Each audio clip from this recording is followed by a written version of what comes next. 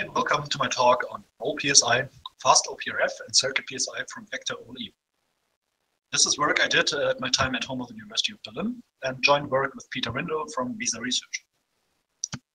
So this talk is going to be about private set intersection. So let's quickly introduce what that is. Private set intersection, or short PSI, is a protocol between two parties, Alice and Bob, and they each have some set of input elements. The goal for the parties is to learn the items they have in common. So in this case, the blue triangle and the red circle. So if at the result of the protocol, all the parties learn is their intersection of the sets and nothing beyond that, then we call that PSI protocol actually secure. So there are many variants of PSI protocols. In particular, we could have, for example, both parties uh, have both parties receive the output, or only have one party receive the output. We could have associated values with the inputs, or we could have the output secret shared, which allows us to uh, subsequently perform a different secure computation on the secret shared output without the parties learning the intermediate results.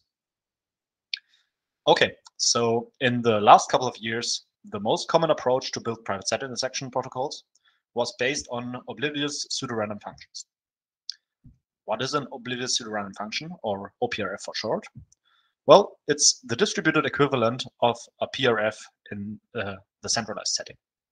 So Alice here has the key to the PRF, and she's going to get that as a result of the uh, OPRF protocol.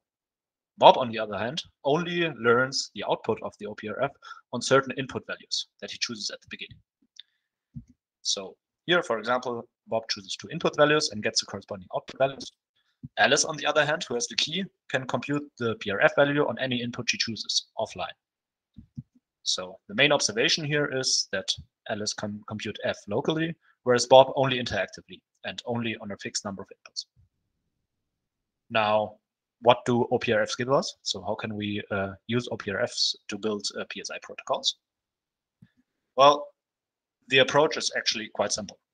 Bob simply inputs all his elements into the OPRF protocol and in turn gets the corresponding PRF values. Alice gets the OPRF key and now can locally compute the PRF values for all of her inputs. And now she's just going to send those over in a shuffled order to Bob, who can then compare each of them with the OPRF values he got for himself. And as soon as he has a match, he knows that the corresponding input was in the intersection. So that's a very simple PSI protocol. And the work I'm presenting here follows the same approach. So we're also going to build an OPRF function, but we're going to build one that's more efficient than previous work. And that is also going to give us more efficient PSI protocol in, in turn. So the basic protocol underlying our OPRF construction is called vector OLE. So I'm also quickly going to introduce what that is. Vector OLE so OLE here stands for oblivious linear evaluation, is uh, basically a correlation generator that again can be run between two parties. So the vector OLE generator outputs three vectors, A, B, and C, and a scalar delta. So here Alice gets B and delta, and Bob gets two vectors A and C. And all of these are pseudo-random, but with the property that they are correlated. And the correlation is such that C equals A delta plus B. You can think of this as an additive secret sharing of a vector scalar product. So A delta is the product, and then C and minus B are the secret shares. Now, there are several works that explore how to build vector OLE generators, and we're building on them to build our OPRF construction. Now, how can we get from vector OLE to an OPRF? Now, suppose for a minute that A, B, and C are very long. In particular, that they are exponentially long. That means they have as many elements as there are possible elements for a PSI protocol. Of course, in practice, that's not going to be possible, but uh, assume we have that for a moment, and then we're going to see how we can actually get a realistic OPRF. So if we had such, such a long vector OLE correlation, and if in addition, Bob could choose one of the vectors, A, to be zero at certain positions, we could have an OPRF by Bob choosing A to be zero at all the positions that corresponds uh, correspond to his input elements. So if A of X is zero at all the positions of Bob's inputs, then at these, B and C will be equal. So in irrespective of, of delta, which is still random. And now if we just put those into a random oracle, we immediately get a PRF. And it's one that Bob can evaluate at all of his inputs. And Alice can actually evaluate anywhere because the key is going to be just Alice's vector B. Now observe that at positions where Bob doesn't program A to be zero, C and B will uh, not be equal. And that means that the corresponding uh, result of the OPRF will not be equal. So we still have the property that Bob can only evaluate the OPRF at positions he chose in the beginning. Now, that sounds very simple, right? But of course, there are several problems with this approach. First of all, with a just a vector-OLE generator, Bob cannot choose A, since it's generated pseudo-randomly. Secondly, as I said, A, B, and C would have to be as large as the OPRF domain. And that's not realistically possible with any vector-OLE generator. And thirdly, if Bob acts maliciously, he could just program A, so if he can program it at all, you can program A to be zero in more than n positions, right? So you can program it actually to be zero anywhere, and therefore learn Alice's key, and uh, that makes the OPRF protocol not secure. So I'm now going to show you how to fix each of these issues. And at the end, what we're going to get is an actual OPRF protocol from vector OLE.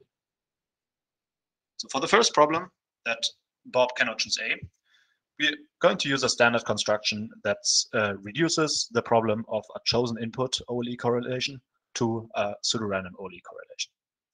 So if Bob cannot choose A, but he can instead choose a different vector P, he can just send P plus A to Alice. And here A is going to act as a one-time pad to mask P. And now Alice's key just becomes uh, B plus delta times A plus v, uh, P. And this again uh, satisfies the uh, vector OLE correlation. So we still have correctness. But now Bob can actually choose his vector. And uh, that allows him to program it in exactly the way we want him to. So, okay, that was simple. And that's a known construction. So nothing new. The second problem is somewhat more involved. So for this ideal uh, vector-OLE protocol, we would need A, B, and C to be as large as the full OPRF domain. Since we cannot have that, we're going to go a different approach instead. And we're going to assume we have a public exponentially large matrix M. So this matrix, again, is as large as the vectors we would ideally want to have, but it's uh, not very wide. So it's very tall, but not very wide and the number of columns is just slightly more than the number of inputs that Bob chooses.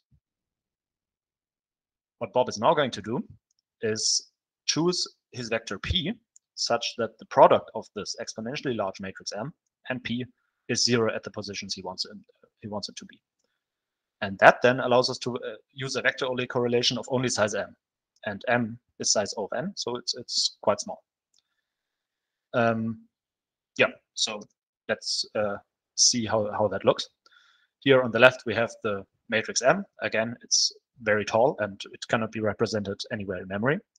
But we can index it by the elements that uh, we have in, in Bob's uh, input set. So Bob can just select the rows that he wants from this matrix M. And we have a short vector P, and we want the product of M and P to be zero at exactly the positions that correspond to Bob's inputs. How can we achieve that? Well, it's rather simple. We just choose the rows of M that correspond to the inputs and then solve the linear system, MP equals zero. And we're going to see several approaches that make this linear system solving actually quite efficient. As for the third problem, that a malicious Bob can make now MP zero in more than n positions, well, we're not going to actually program zero there, but we can program any value we want. And in particular, we can program a random value that's derived from the, the input uh, uh, element. So here we're going to use a random oracle and use the output of the random oracle as the value uh, programmed for uh, m times p. So here again, the only thing that changed to the uh, previous image was that now mp has the hash of the corresponding row in uh, in its value.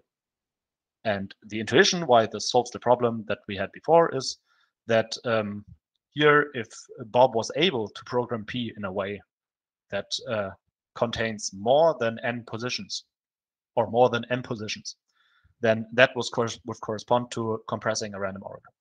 Since that's not possible information theoretically, that means that Bob cannot find a vector p that uh, programs more than n positions. And so that ensures that he can only query the OPRF at n positions. So this gives security from the Alice's perspective. Now, okay, the question is, we want this large public matrix M that has the property that Bob can efficiently choose uh, choose submatrices of it, so can efficiently index into it and choose a row that corresponds to an input.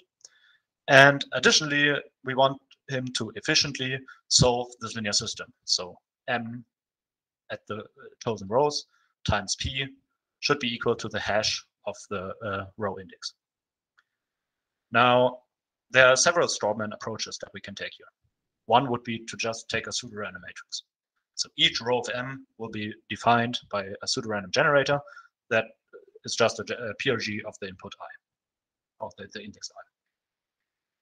Now, that is still quite concise. So if we do that pseudorandomly over a field f or, or over a binary field, then uh, we only need roughly O of n uh, columns in this matrix for it, for it to have a solution. But the problem is that now finding that solution takes cubic time because the best we can do here is Gaussian elimination. So that's quite inefficient in terms of computation. Another approach that's also been uh, cited in the literature quite often is a garbled Bloom filter. So here we don't have completely pseudo-random rows, but instead we have a binary matrix that is only one at a very few positions. So here the number of positions is uh, equivalent to the statistical security parameter lambda. And that means we only have lambda non-zero elements at each row. So that means we can also we can solve the linear system in linear time, since it is a sparse system. But the issue now is that uh, we need a very uh, a very large number of columns in the matrix to ensure there's a solution at all. And so that means the communication becomes quite inefficient since the size of the rows is also the size of the vector OLE correlation that we have to generate. So one approach that is both efficient in terms of computation and communication is what we call the Vandermonde solver. So here, M is going to be the Vandermonde matrix. That is, each row is going to contain all the powers of the row index from the zeroth to the n minus first. So now, multiplying a row times any vector v is the same as evaluating a polynomial with coefficients from v at the row index x. Now, if our matrix has th that structure, that means that uh, solving the linear system, so taking the rows of uh, m that corresponds to Bob inputs and solving mx times p equals to the hashes of x. That's the same as interpolating a polynomial, where the po uh, coefficients are p, um, and the polynomial is over uh, the rows the row indices x. Then computing the inverse, so uh, multiplying the matrix mx times any vector v, is the same as multi-point polynomial evaluation. So here's an example of how a polynomial could look like. So uh, at any point, uh, point x, we want the polynomial to have the uh, hash of x as the value. At any point that is not in uh, Bob's input set, we don't care. We just uh, care about the uh, exact inputs that Bob uh, has. So the nice thing is that the number of columns this matrix needs to have is exactly n. So it needs to have the powers from 0 to n minus 1. So there's n many of them. So that means communication-wise, we're as efficient as we can get. Computation-wise, we know that polynomial uh, interpolation and multi-point evaluation can be done in uh, time n log squared n. But ideally, we would like to get rid of that log square factor. So ideally, we would have to, to have uh, would like to have something that's linear. And for that, we have a second approach that we also present in the paper, and that's based on previous work and uh, in particular the called the Paxos solver. So the Paxos solver is nice because it has a linear time encoding and decoding algorithm. And also the rows have size O of n. So they are larger than n, but only by a constant.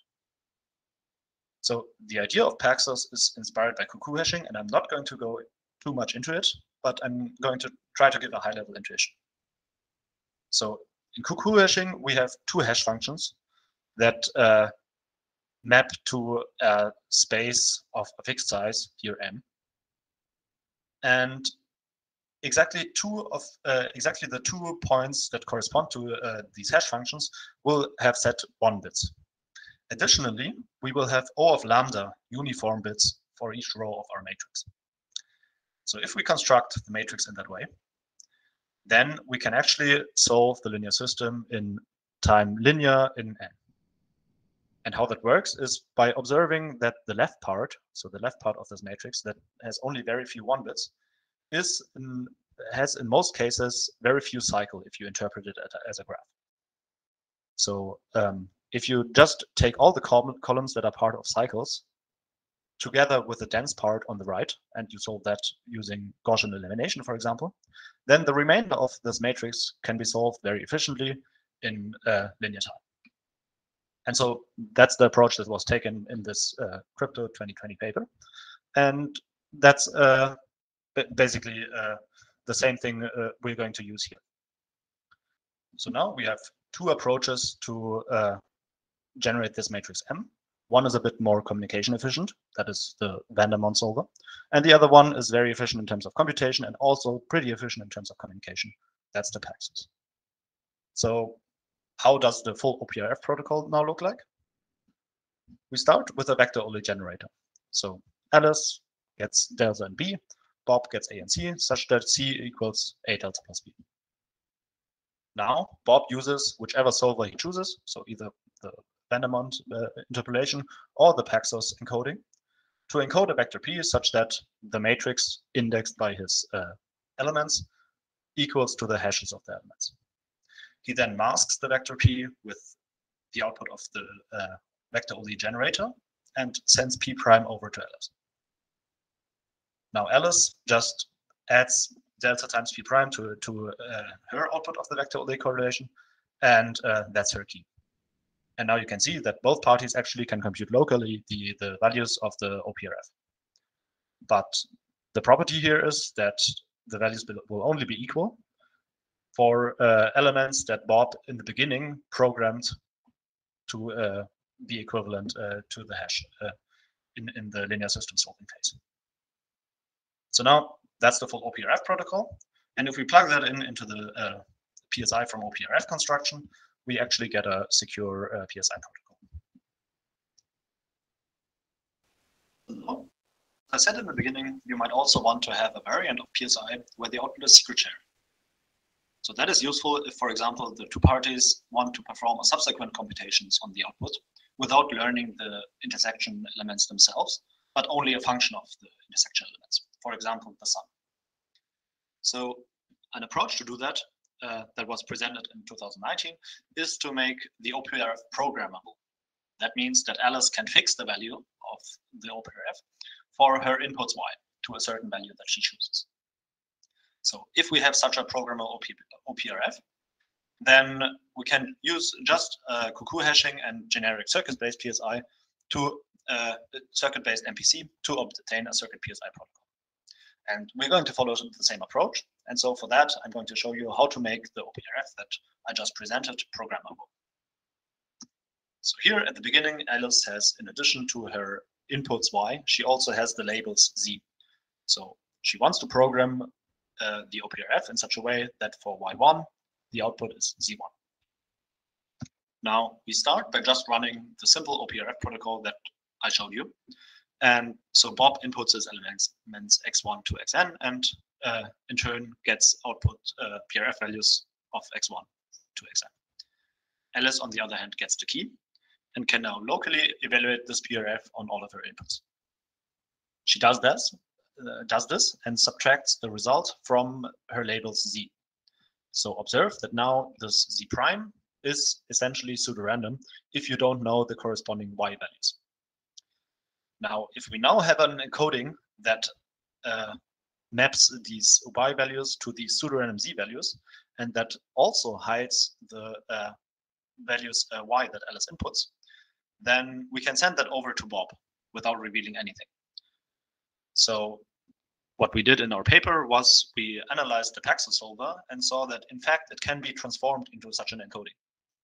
So in particular, at any point where in the linear system solving of the Paxos encoding, uh, where there is a choice between multiple uh, options, if we just choose randomly, then this satisfies the condition. So as long as z prime is super pseudorandom, nothing is revealed about y by this encoded vector p. And since z prime is masked with OPRF outputs, which by definition are pseudorandom, then uh, this suffices here. So Alice can encode this vector p and send it over to Bob. And now both parties can locally decode the Paxos uh, encoded vector on their inputs and add the results to the OPRF values that they already computed. So this gives them the programmable OPRF value.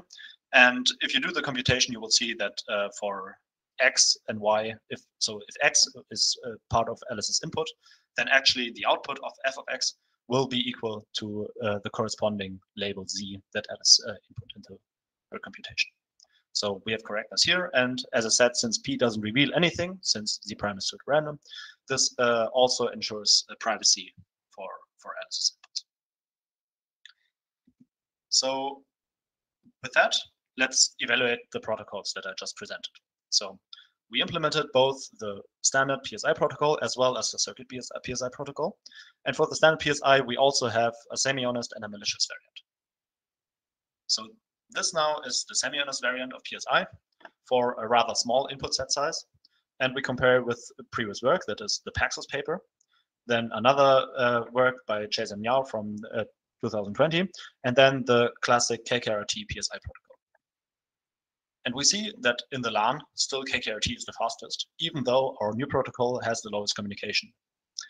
Um, we also see that if we exclude a one-time setup phase that is only present in our uh, protocol, then actually our protocol is the fastest in any setting that's not the LAN. If we include, on the other hand, this one-time setup, then the protocol of Chase and Miao is still faster. However, if we increase the input size, so if we now go to a million input elements, then we see that in very bandwidth constraint uh, settings, our protocol is the fastest, even if we include the one-time setting. And that becomes even more apparent if we go to 2 to the 24, so uh, really large input sizes. So here in the LAN, still KKRT is the fastest, but in any bandwidth constraint setting, the fact that we have such a low uh, communication in the VOLE PSI uh, gives us an advantage in terms of computation time as well.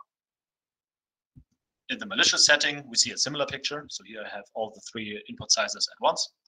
And we'll see that uh, only in the LAN, the protocol, uh, the original Paxos PSI protocol is faster than ours by a small margin. But then in bandwidth constraint uh, settings, uh, ours is faster again. For circuit PSI, we actually have two choices in our implementation. Um, and that comes due to the fact that the circuit PSI at the end has a generic circuit-based uh, MPC protocol. So we implemented that using GMW, and for that we have a choice of OT implementation that we use. And here we can either use the standard IKNP OT extension or a more communication efficient one that is silent OT. And we implemented both of them and compared them. And we see that in fact, in bandwidth constraint settings, silent OT outperforms IKNP. Both of them in turn outperform the uh, original uh, circuit PSI protocol that ours is based on in terms of communication, and then at least one of them outperforms them in terms of uh, total running time. So that concludes my talk. And I just want to quickly highlight two related works that uh, have been presented at Crypto this year, and that can also be used to improve the protocols that are presented here. So one of them is Silver, which is a faster vector OLE generator. So we used one from CCS 2019. And what's nice about Silver Vector OLE is that it's both faster in terms of computation and communication than the one we use. So this will strictly improve the PSI protocol if you implemented a, a VOLE-based PSI with this Silver VOLE. A second paper uh, that appeared at Crypto was uh, about oblivious key value stores, and those are basically more efficient variants of Paxos. And again, just like the original Paxos, those can be used in both our PSI and circuit PSI construction, and so can significantly reduce the communication overhead of those. With that, I'm concluding my talk, and I would like to thank you all for your attention, and I'm happy to take any questions.